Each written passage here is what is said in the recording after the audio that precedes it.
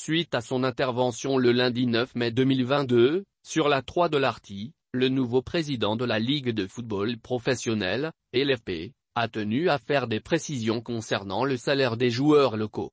Selon M. Salih Togo, il n'a jamais été question d'imposer un salaire minimum au club de la Ligue 1, puisque ce n'est pas à la Fédération ivoirienne de football, FIF, de décider des émoluments mensuels à payer aux joueurs. Je parle du salaire de base qui doit être de 120 000 FECFA.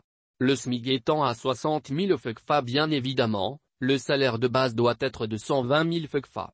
Mais il y a des clubs qui peuvent payer les joueurs au-delà de cette somme, a-t-il expliqué lors d'un entretien téléphonique ce mardi.